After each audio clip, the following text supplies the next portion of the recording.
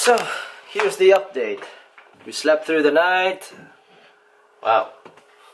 We had to sleep. But this is the final product. A few imperfections here and there, but it's all minor imperfections.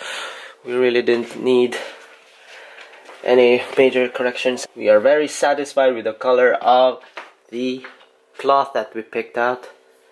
One of the mistakes we made was this one, the string. The string keeps popping up. We didn't put the cushion, like compress the cushion together. But the good side is it's on the front. This is the front side. You won't be able to see it if you were going to peek in the cabinet. The back side, uh, it's just carton. Just a whole lot of staples and this side was glued together with the spray glue this won't easily come off. And I thought because this was cloth I thought that we needed to put like um, velcro self-adhesive velcros here. But when I tested it last night it did, it did not even slip. And it was already of a tight fit. So you can see that. You have to push it down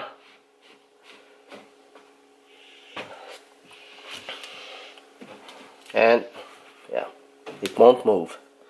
I'm very very satisfied with the final product. If you want to see and I've already marked out where the shower rod will be. Just enough. See? It's just enough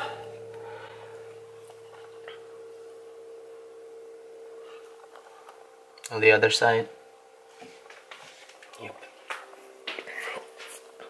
and Eunice is actually preparing she's going to make a very long sleeve uh, we're just when we put the curtain rod we put also that cloth and then we're going to uh, just roll it over the the foam.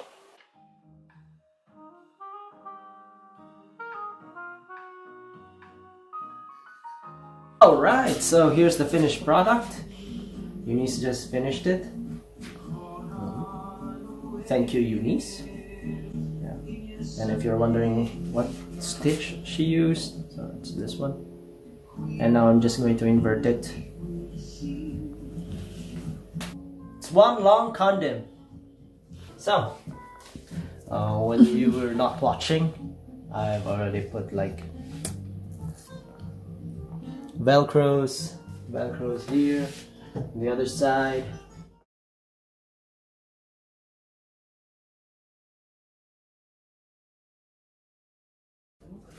This is going to take some time. the most important thing is when you're going to buy cloth buy something that's stretchable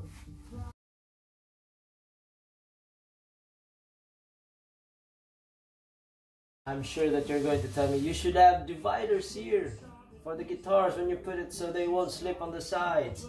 Well I really don't I, I don't think it's necessary especially if this cabinet is at least stable. So and if you're really careful enough placing your guitars next to each other then it won't actually tip over. And I really don't mind getting my guitars uh, bumped or scratched. I think scratches and bumps adds a little bit of character to my guitars. But I do plan to put instead of like dividers I plan to put like velcros so that they'll just strap on here. So they'll be much more secure and less of a hassle to make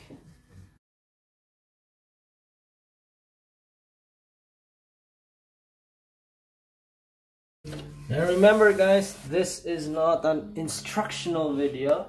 It's just showing you our way of doing our very own guitar storage cabinet. So it's just giving you a bit of an idea on how you could make yours. If you do plan to make yours, I recommend doing it much better than I did. I did this in a very simpler way and in a very somehow minimalistic way. Yeah. Ta-da! Elegance. Nice. So, let's see, let's see.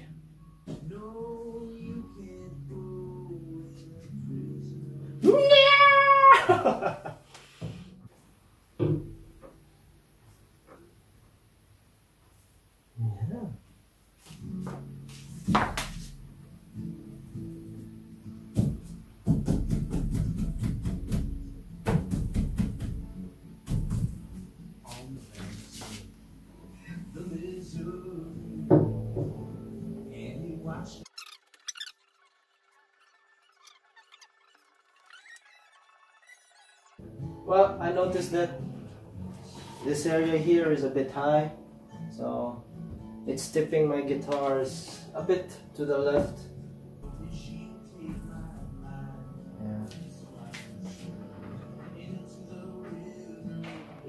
Hello guys!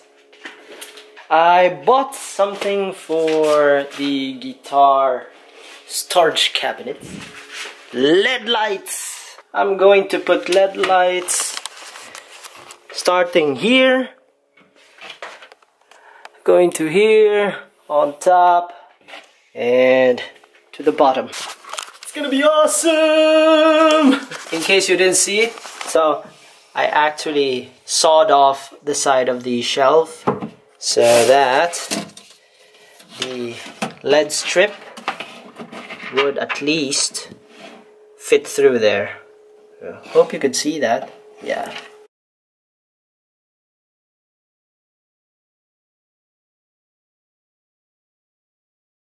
These adhesive velcro strips are really handy.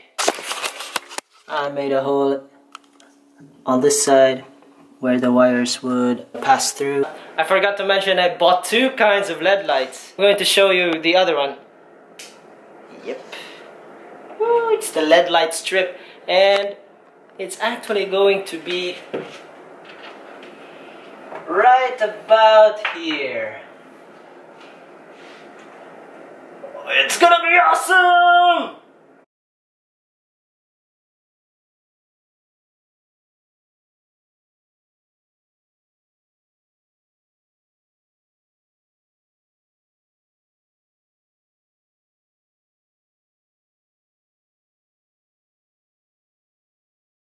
Yep, so the switches are on the back. Use the Velcro for wire management I know that there's a much better system but I don't have it on hand right now. But this will work for today. Well as you can see LED lights are functioning. One of my most stupid mistakes I've done during this project is this one. This LED light. I had a strip that was 5 meters long enough until here. But I thought it was going to be too long so I cut too early.